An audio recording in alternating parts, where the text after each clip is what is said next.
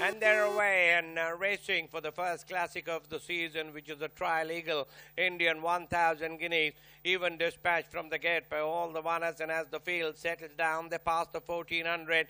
It's uh, democracy in the aquamarine and. Uh, Copper is the leader from uh, Cordelia in second. In third, there is Amera. Length and a quarter behind, there is Westbrook is the only outstation challenger in fourth in the red and white. They pass the 1200.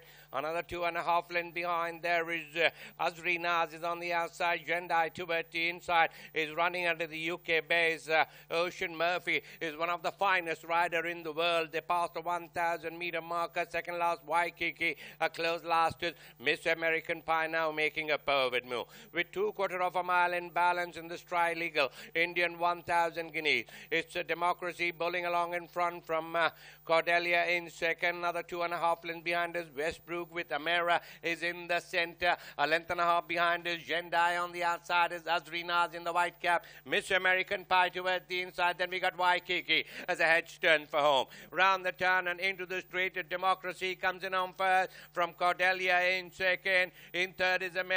After that is the Westbrook. Miss American Pie is rallying on the far side. Jendayi is uh, warming up in the center. On the outside there is Waikiki, but it is democracy from Cordelia. On the outside there is Jendayi. Is democracy from Jendayi. Is democracy from Jendayi. Jendayi gets it.